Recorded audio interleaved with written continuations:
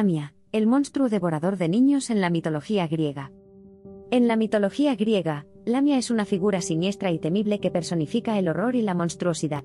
Su historia es un ejemplo de cómo las leyendas pueden evolucionar con el tiempo, mezclando elementos de tragedia, lujuria y terror. En su forma más antigua, Lamia era una reina de Libia amante de Zeus. Sin embargo, después de que Hera descubriera la relación y matara a los hijos de Lamia, ella se volvió loca de dolor, y se convirtió en un monstruo con la parte superior de su cuerpo de mujer y la inferior de serpiente. La historia de Lamia varía en diferentes relatos, pero a menudo involucra su deseo de venganza contra niños humanos, a quienes secuestra y devora. Lamia, según algunas versiones, desarrolló una envidia y odio por las madres humanas debido a su propia pérdida de hijos.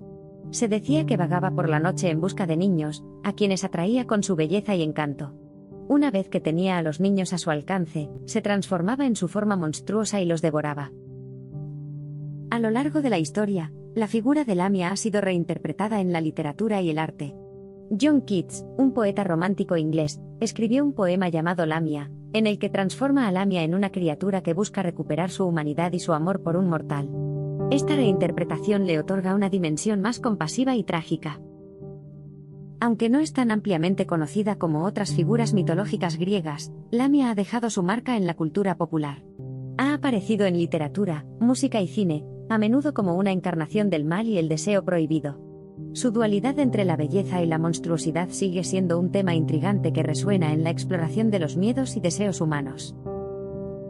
Lamia es un ejemplo de cómo las leyendas mitológicas pueden reflejar los miedos y anhelos humanos.